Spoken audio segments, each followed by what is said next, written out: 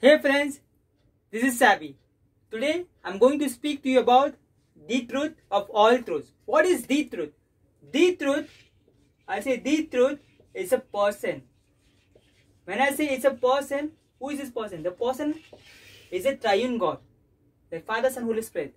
Like one God and we who manifests in three persons. There's the Father, Son, Holy Spirit.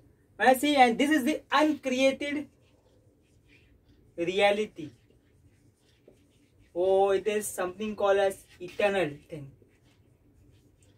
Oh, I'll call it as uh, the unchanged reality. This cannot be changed. So you can see the Father, Son, Holy Spirit as a union together over here. So uh, we can see here this is this is this something this is called as a circle of life. Oh, oh the early church uh, uh, described this as the triune dance. Or oh, today we call it as the Trinity.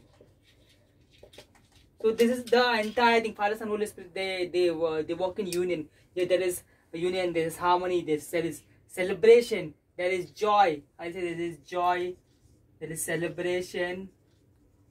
There is peace. There is self. Self uh, like they they are they are other centered over here you know self-centered. Uh, there's uh the uh, this uh the triune god is is a god of agape love. It's agape love.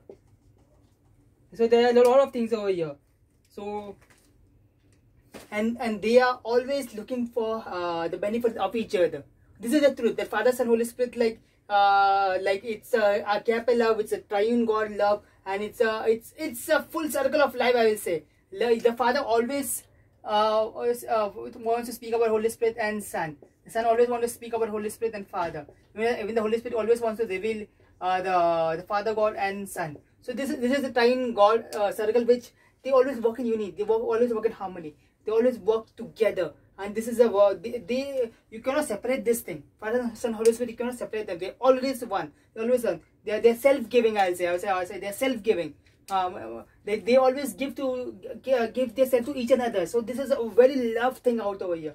And this is the, truth of all truth. This is what i'm explaining. This is the foundation of everything. This is the foundation of every truth. And this is the person that i'm speaking about i'm not speaking about the the, the, the truths uh, that we speak or truth that we admire the truth that we live i'm speaking about the truth. Because the word of god says very clearly that whatever the, the, the son saw his father doing he, did that thing. He, uh, even the says karke uh, if the if, if the uh, father raises the people from heaven, even son does that thing. And even uh, son, son always speaks about that the holy spirit was going to come and he wants to give the holy spirit to us. So this is always always and holy spirit always wants to reveal son and the father god. Father god only wants us, wants us to give the holy spirit. Only us wants us to accept be accepted in his son. So all is this this, this god is is the this is the flow of life. The circle of life which is the truth and which is what we all want to know. Uh, we should start with this thing. Uh, every foundation of our life about the truth, we should start with this truth.